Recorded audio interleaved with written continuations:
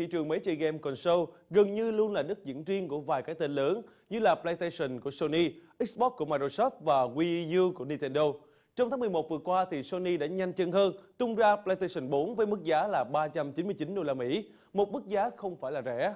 Liệu PlayStation 4 có làm hài lòng các game thủ?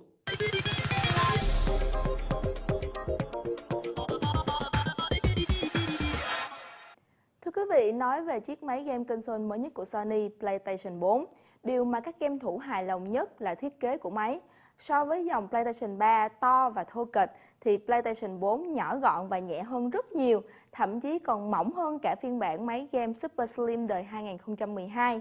Thưa quý vị, ở phần mặt trước của máy, Sony bỏ bớt các chi tiết thừa, không còn các nút bấm như PlayStation 3, PlayStation 4 có hai nút cảm ứng để bật tắt và lấy đĩa CD.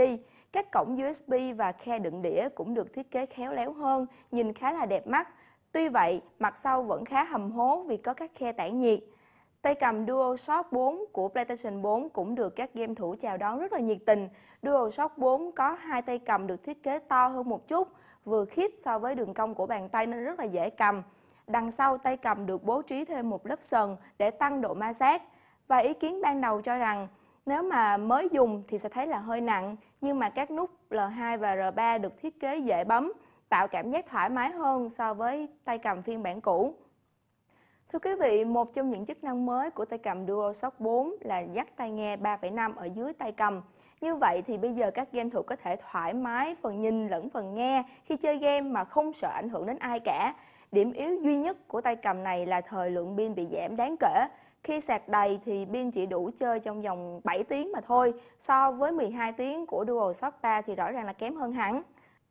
Thưa quý vị, PlayStation 4 có ổ cứng dung lượng 500GB, CPU nhân kiến trúc X86 giống như là CPU của các PC thông thường.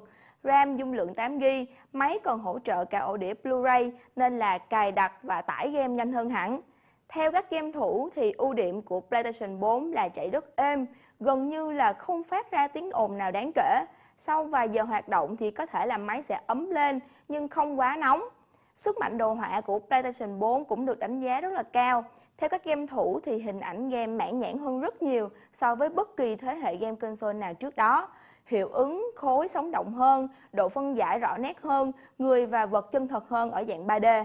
Tuy nhiên, điểm trừ của PlayStation 4 là giao diện PlayStation Dynamic Menu với các biểu tượng hình khối lớn hơi rườm rà khi thao tác. Nhưng ưu điểm là các game thủ có thể thoải mái chia sẻ và giao lưu với nhau trên mạng xã hội trong khi chơi game mà không cần phải thoát ra. Có hẳn một nút chia sẻ trên tay cầm để game thủ có thể chia sẻ các video, ảnh chụp màn hình hoặc là phát sóng game một cách trực tiếp, nhanh gọn lẹ mà không quá mất thời gian.